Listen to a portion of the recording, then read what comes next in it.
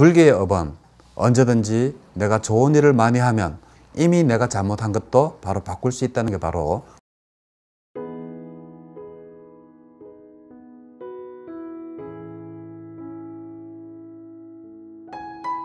안녕하십니까? 마음치유행복도량 대구 구룡사주지 도일입니다. 오늘은 불교의 시대적 어, 배경에 대해서 말씀을 드리겠습니다. 불교가 그 발생했을 때 그 인도에는 도대체 어떠한 종교가 있었고 그리고 그 인도라는 나라는 도대체 어떠한 나라인지 거기에 대해서 말씀을 드리고자 합니다. 우선 우리가 인도라고 하면 지금은 우리보다 조금 더 가난하고 사람들이 피부가 검고 이래서 우리가 조금 굉장히 우리가 잘 사는 것처럼 이렇게 하지만 사실 인도라는 나라는 우리가 상상도 할 수 없을 정도의 뛰어난 나라라고 생각을 하시면 됩니다. 옛날에 인더스 문명, 겐지스 문명의 발상지기도 하고 중국은 황하 문명이 있었죠. 그리고 그 메소포타미아 쪽에는 메소포타미아 문명이 있었습니다. 그러한 어, 문명의 발상지가 바로 인도가 되겠습니다. 그래서 겐지스강과 인더스강 예, 이 두 군데에서 이렇게 한 나라에서 두 군데 문명이 동시에 발생하는 나라는 드뭅니다. 중국도 황하 문명, 황하강 쪽에서 오직 한 문명만 발생을 했는데 인도는 인더스 문명과 겐지스 문명 이렇게 해서 두 개의 문명이 동시에 발전된 대단한 나라였다라는 것을 먼저 말씀을 드립니다. 그리고 이 인도 사람이 가면 인도에 가보면 아, 굉장히 뻥이 셉니다. 안 되는 게 없습니다. 뭐든지 이렇게 물으면 어 내가 해줄게 도와줄게라고 해놔놓고 요즘은 하나도 해주는 게 없습니다. 그렇지만 이 옛날에 인도 사람들은 그렇지가 않았습니다. 그렇기 때문에 부처님께서 어떻게 보면 인도로 이렇게 오셔서 그 수행하기가 좋은 그러한 기반이 되어져 있는 그 당시에 인도에 태어나셨을 수도 있지 않을까라는 생각을 해봅니다. 이 인도라는 나라는 우리가 지금 십진법을 쓰죠. 그래서 숫자를 세야 할 때 1, 2, 3, 4, 5, 6, 7, 8, 9, 0 이렇게 씁니다.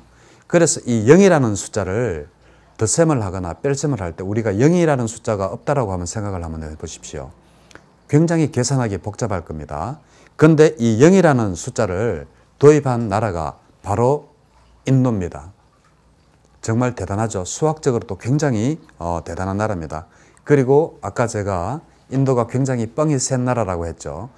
숫자도 가장 큰 숫자, 도저히 우리가 상상도 할 수 없는 숫자를 만드는 나라가 바로 인도입니다.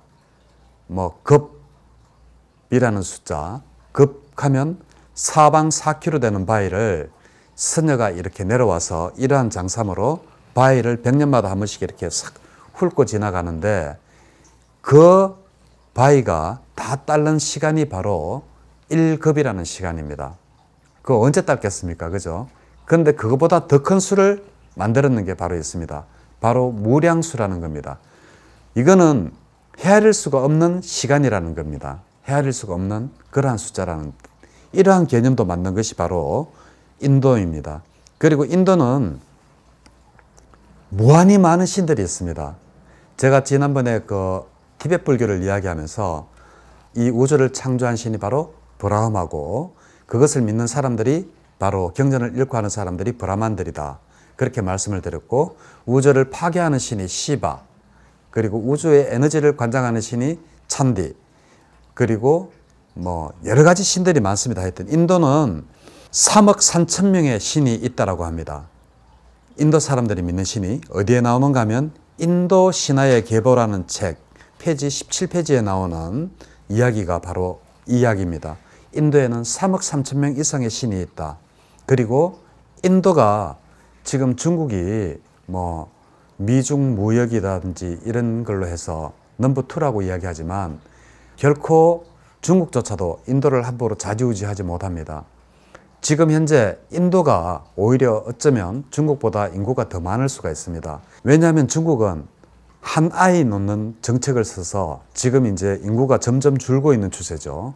그런데 반해서 인도는 가면 길거리에 부딪히는 게 알 일 정도로 인구 정책을 쓰지 않았습니다. 그래서 통계적으로는 13억이라고 하는데 실질적으로 13억 인구 같으면 통계를 내는 그 순간에도 숫자는 계속 불어날 겁니다. 그래서 정확히 인구가 얼마인지도 모릅니다. 그리고 인도는 핵무기도 가지고 있는 나라입니다. 그럴 정도로 대단한 기술력을 가지고 있고 지금 인도도 지금 곧 이제 달 탐사 화성 로켓을 충분히 쏘아 올릴 수 있는 그러한 기술력을 가진 나라입니다.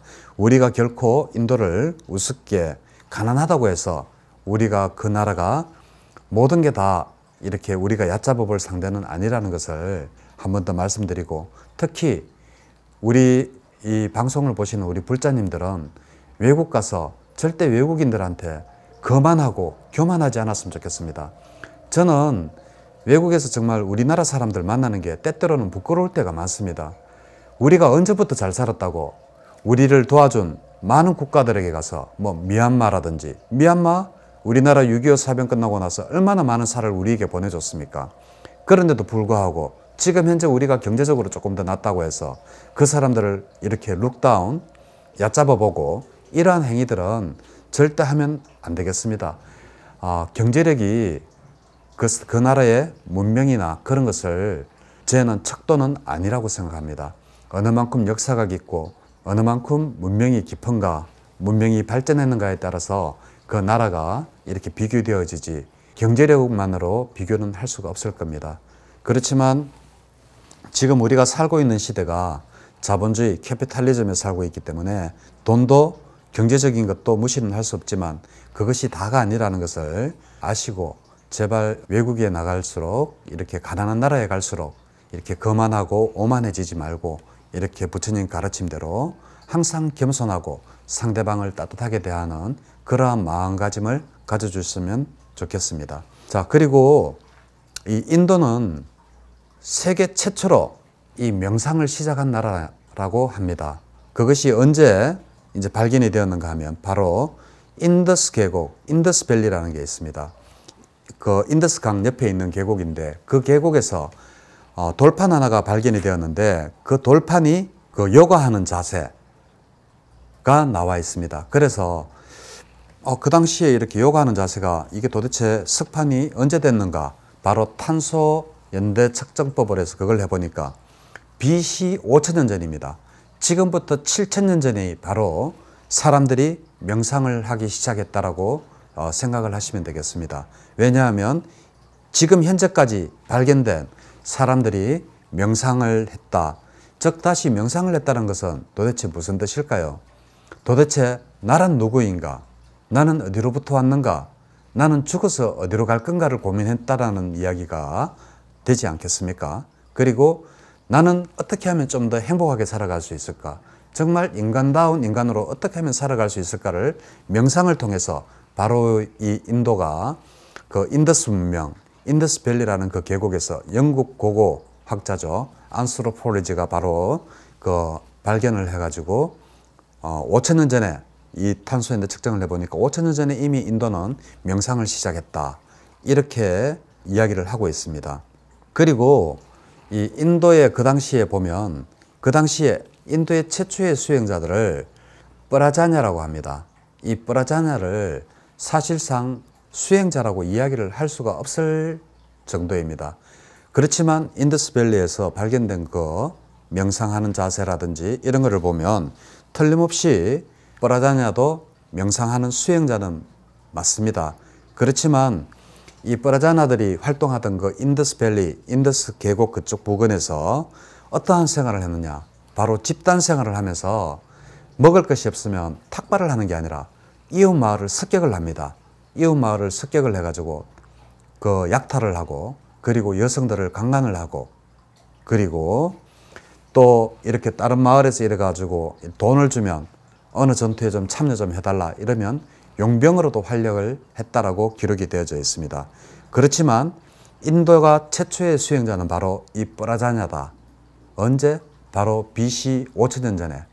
그럼 지금으로부터 7천년 전에 이 뿌라자냐라는 수행자들의 집단이 생겼다라는 것입니다. 인도는 이만큼 수행의 역사가 바로 긴 나라가 되겠습니다. 그리고 이 우주를 창조한 신 브라흐마라 그랬죠. 이 브라흐마를 믿는 종교가 바로 뭐냐 하면 바로 브라만교입니다. 이 브라만교가 누가 믿느냐? 바로 브라만들이 믿습니다. 브라흐마를 믿는 게 바로 브라만교고 거기에서 의식을 집전하고 하는 사람들이 바로 브라만이다. 그래서 이 사성제 계급이 최고 높은 자리를 차지하고 있는 게 바로 브라만이지 않습니까? 브라만, 크샤트리아, 바이사, 수드라 이렇게 해서 이 네 가지 계급을 보고 바로 사성제라고 하는데 부처님은 브라만이 아니고 바로 이 크샤트리아죠. 그래서 이 크샤트리아이기 때문에 부처님 경전을 이 디가니까야부터 5부 니까야 경전을 읽다 보면 곳곳에 크샤트리아가 최고다, 크샤트리아가 최고다 라는 이야기가 굉장히 많습니다. 그래서 제가 처음에 읽을 때는 어, 순수하게 그냥 이렇게 받아들였지만 두 번째 읽고 이렇게 읽을 때는 부처님께서 왜 이렇게 크샤트리아가 최고다라는 말씀을 많이 하셨을까 이것을 이렇게 생각을 해보면 부처님도 이 사승제 계급에서 결코 자유롭지를 못했구나. 그래서 이 뛰어넘을 수 없는 그러한 벽 때문에 부처님께서 바로 출가를 하신 게 아닌가 저는 그렇게 개인적으로도 생각을 해봅니다. 그래서 이 우주의 창조신 브라하마를 믿는 교가 바로 브라만교인데 이 사람들이 바로 믿는 경전이 있습니다. 우리가 아한경, 니까야를 믿듯이 이 사람들이 믿는 경전이 바로 베다입니다. 많이 들어보셨을 겁니다. 베다는 브라만교 겁니다. 우리 게 아닙니다. 그리고 이 베다 종류는 우리가 디가 니까야, 맞지만 니까야, 안구따라 니까야, 상주따 니까야 이렇게 있듯이 리그베다, 야주르베다, 그리고 사마베다, 야타르베다 이렇게 네 가지 베다의 경전이 있고 그리고 이 사람들의 브라만교의 철학서가 바로 우파니시아드입니다. 우파니시아드가 바로 우리 불교과라고 생각하시는 분이 많습니다. 아닙니다. 브라만교의 철학서가 바로 우파니시아드입니다. 우파니시아드라는 이 책이 추구하는 게 뭐냐? 바로 버마 이려 사상입니다. 즉 다시 말해서 신과 내가 동일시되는 겁니다. 그래서 지난번에 그 티베트 불교 이야기할 때 탄테라니즘 이원론적이 아니라 이론론적인 거 버마 이려 사상 우파니시아드가 추구하는 철학서다. 그래서 우파니시아드를 많은 분들이 우리 불교권로 알고 있지만 그것이 아니라 우파니시아드는 브라만교의 철학서일 뿐이다. 이렇게 하시면 되겠습니다. 그리고 이 브라만교의 특징은 부처님처럼 한 분의 어떠한 교주라든지 이러한 하나님이라든지 이러한 교주가 없다라는 게 바로 특징입니다. 왜냐하면 브라만의 신들은 3억 3천만 명이나 된다라고 했습니다. 어디에서 바로 그 책에서 제가 아까 말씀드렸죠. 인도 신화의 계보라는 책에서 3억 3천 명의 신이 있다라고 페이지 17페이지에 나온다라고 제가 말씀을 드렸지 않습니까? 그렇듯이 이 브라만교는 특정한 교주가 없다라는 게 바로 특징이기도 합니다. 그때 이제 BC 7세기경에 바로 어떠한 일이 생기는가 하면 바로 이러한 브라만교의 우파니시아드나 베다에 우리 그거 안 믿어 라고 하면서 출연하는 게 있습니다. 그게 바로 사문입니다. 사문은 그 유랑 생활을 하고 무수요를 실천을 하면서 탁발로 살아가는 겁니다. 그래서 부처님도 이 사문이라고 합니다. 그래서 우리들도 지금 현재까지 우리 출가자를 보고 사문이라고 하지 않습니까? 이게 언제냐? BC 7세기경에 바로 나타난 새로운 사상가의 집단이 바로 사문입니다. 그래서 부처님이 우리 불교가 탄생할 때 부처님이 출가할 때도 바로 이러한 새로운 사상을 가진 그 사문의 한 파트였다. 그리고 그 당시에 부처님 당시에 바로 얼마나 많은 사문이 있었느냐. 62개의 큰 집단의 그 사문이 있었는데 그 중에서도 가장 큰 집단 6개를 우리 불교에서는 바로 육사외도라고 이야기를 하고 있죠. 예, 바로 육사외도입니다. 이 사람들은 철저히 무소유와 그리고 고행 그리고 기존의 사승제를 거부를 하고 그리고 왕가 그리고 이 자본가들로부터 많은 후원을 받아서 탁발로서 생계를 이어나가는 것이 바로 사문입니다. 그래서 우리 부처님이 출가를 하실 때도 시대적 상황적 배경이 있었다. 그래서 우리 불교도 어떻게 보면 힌두교로부터 자유롭지 못하고 브라만교로부터도 자유롭지를 못한 이유가 시대적 상황이 있었기 때문에 그렇고 그리고 우리 불교가 가장 자랑하는 업설 브라만교나 그리고 힌두교도 다 있는 겁니다. 자연화교도 있고 그렇지만 단 틀리는 게 있죠. 다른 종교에서는 업은 한 번 정해지면 바꿀 수가 없습니다. 그렇지만 우리 불교의 업은 언제든지 내가 좋은 일을 많이 하면 이미 내가 잘못한 것도 바로 바꿀 수 있다는 게 바로 우리 불교의 업이라고 말씀을 여러 차례 드렸습니다. 그것은 어디에서 확인할 수 있느냐? 바로 소금덩이의 경영, 바로 소금덩이의 경과 밀란다 왕문경에 보면 그러한 내용을 충분히 아실 수가 있겠습니다. 그리고 부처님 당시의 언어는 두 가지가 있었습니다. 바로 산스크리트와 빨리어 두 가지가 있었는데 부처님께서는 왕이었으니까 당연히 산스크리트, 산스크리트어도 하실 수가 있었겠죠.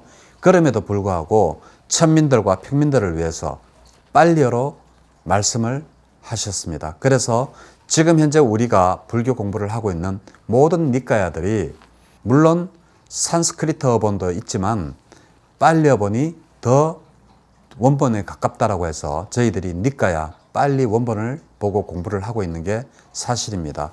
이 산스크리트어는 왕과 귀족을 통해서 티베트로 넘어갔기 때문에 많이 변형이 되고 그랬을 가능성이 있기 때문에 빨리어를 기준으로 해서 저희들이 니까야를 공부를 하고 있습니다. 짧게나마 부처님이 이렇게 출가를 하시기 전 인도의 상황과 그리고 그 당시에 많은 사람들이 어떠한 신을 믿었고 브라만과 그리고 사문의 출현이라는 BC 7세경에 사문이라는 새로운 사상가들의 집단이 출현할 때 그때 부처님도 새로운 사상가의 집단인 산 사문으로서 출발해서 한 종교를 이루어낸 분이다 라는 것을 말씀드리면서 네, 불교가 발생하던 인도의 시대적 상황에 대해서 말씀을 드렸습니다. 네, 감사합니다.